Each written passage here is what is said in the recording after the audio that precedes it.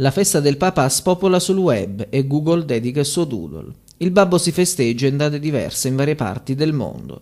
In Italia e nei paesi cattolici si celebra il 19 marzo, il giorno di San Giuseppe. I primi a celebrare la ricorrenza furono i monaci benedettini. Negli Stati Uniti invece l'istituzione della festa si deve a una donna. Occhi puntati dunque su tutti i papà del mondo. In tanti oggi sulla rete sociale di Facebook hanno postato le foto con i propri babbi, ricordando l'infanzia e i momenti indelebili della vita. A qualcuno è scesa anche qualche lacrima perché avrebbe voluto il suo papà vicino a sé. Per i sulmonesi la paternità resta qualcosa di significativo. Il ruolo della famiglia nella società è cambiato, sostengono Donda TG, ma diventare padre è il più grande regalo che si possa ricevere dalla vita. Per i figli sulmonesi la figura paterna è invece fonte di sicurezza e guida nel cammino della vita. Una grande soddisfazione, specialmente per i miei due figli, Andrea e Simone, che mi danno tanta tanta felicità.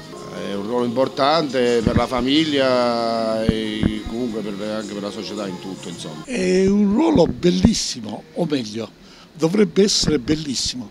Io sono un fortunato perché sono padre due volte, nonno tre volte, quindi è una funzione bella. Il papà è una figura fondamentale, innanzitutto perché eh, rappresenta una di quelle metà eh, del contesto familiare che sono i genitori che sostanzialmente ti accompagnano per tutta la vita e poi è una figura che un po' riempie la vita di tutti quanti di amore, di sicurezza, si preoccupano per noi, si impegnano affinché la nostra diciamo, vita uh, sia il più facile e il più comoda possibile nonostante ci siano tanti contesti di difficoltà, quindi diciamo che il papà è una figura fondamentale. Essere papà è la cosa più bella del mondo ed essere nonno è ancora più bello. Io sono papà e nonno. È fondamentale sicuramente, è un pilastro insostituibile sia della società che della famiglia.